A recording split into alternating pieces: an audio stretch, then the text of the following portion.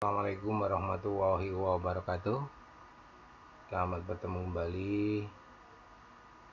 Rekan-rekan, sahabat-sahabat guru seluruh Indonesia Saat ini sudah memasuki bulan Februari di mana pengelolaan kinerja yang sudah Bapak Ibu isi di bulan Januari yaitu tahap persiapan mulai hari ini tanggal 1 Februari untuk kegiatan pelaksanaan pengelolaan kinerja bisa Bapak Ibu mulai. Untuk itu mari kita lihat fitur-fitur apa apa saja yang perlu kita persiapkan. Nah, sama seperti halnya pada bulan Januari, kita klik dulu pada pengelolaan kinerja. Nah, ternyata pada pengelolaan kinerja akan muncul pelaksanaan kinerja. Berdasarkan perencanaan Anda, lakukan observasi kelas dan kumpulkan dokumen yang dibutuhkan. Yaitu pada bulan Februari ini, Bapak Ibu diharapkan bisa untuk mengumpulkan apa saja yang diperlukan sebelum dilakukan observasi kelas. Kita cek, nah ini masih tertulis 0%, berarti belum ada sama sekali, kita cek klik cek tadi ternyata periode 1 Januari sampai dengan 30 Juni ya ini adalah ya periode yang pertama semester 1 ya. Nah kita lihat kita wajib menyelesaikan isi dokumen persiapan.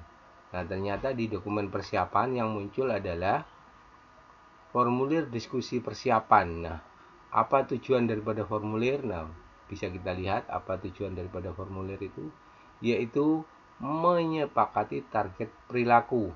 Guru dan atasan menyepakati target perilaku yang akan diobservasi dan upaya belajar yang menampilkan perilaku itu secara efektif.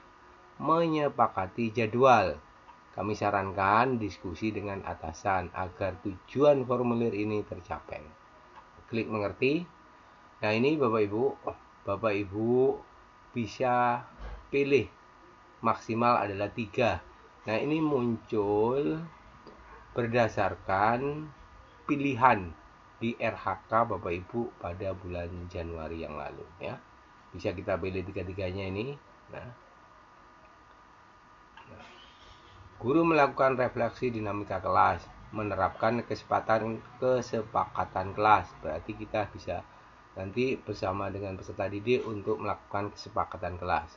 Upaya yang dipelajari, ya, guru melakukan penguatan positif. Guru memfasilitasi peserta didik dengan menyadari konsekuensi dan memperbaiki perilaku. Bagaimana apa saja upaya yang akan Anda lakukan untuk melajari target perilaku? Nah, ini adalah bagaimana dari ketiga ya indikator ini, ya, bagaimana cara kita mempelajarinya. dan juga Bapak Ibu bisa membuat jadwalnya ya nah, jenjangnya sesuaikan dengan jenjang Bapak Ibu ya. Nah, ini adalah opsional. Dan silakan Bapak Ibu unggah dokumen RPP modul ajar perangkat asesmen ya di mana format dalam bentuk PDF ya maksimal 10 MB ya.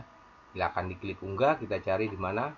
Jadi untuk mengunggah bukti dukung ya bisa kita ambil dari file kita di laptop atau komputer ataupun ambil dari bukti karya karya Anda yang memiliki format PDF di PMM ya. Nah, kalau ini kita ambil dari bukti karya, nah ternyata seperti halnya punya saya ternyata tidak ada, berarti tidak bisa dibuat bukti karya sehingga RPP modulnya bisa di-upload terlebih dahulu baru kita ambil ya. Nah, kalau sudah, silakan Bapak Ibu simpan. Nah, dan kalau sudah terunggah, maka Bapak Ibu bisa kumpulkan. Itu untuk sementara pembagian ataupun berbagi praktek baik tentang apa saja yang ada di pengelolaan kinerja di bulan Februari sementara waktu karena tidak hanya itu saja tapi banyak sekali ya selain ini harus diselesaikan dulu dokumen persiapan nah baru menunggu atasan melakukan observasi ya. Kalau sudah adalah isi dokumen tindak lanjut refleksi dan bagian kedua itu lakukan tindak lanjut isi dokumen refleksi.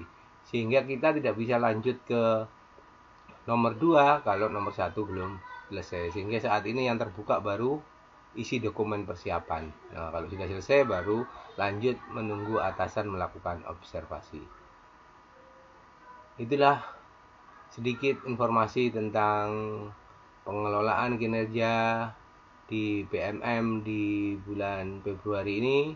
Tetap semangat Bapak Ibu karena dengan semangat maka kita bisa mempersiapkan pembelajaran di kelas dengan tetap peserta didik menjadi pusat atau anak-anak kita terus belajar lebih baik dan sesuai dengan harapan dari negara kita yaitu pendidikan yang berpusat pada peserta didik. Terima kasih. Assalamualaikum warahmatullahi wabarakatuh.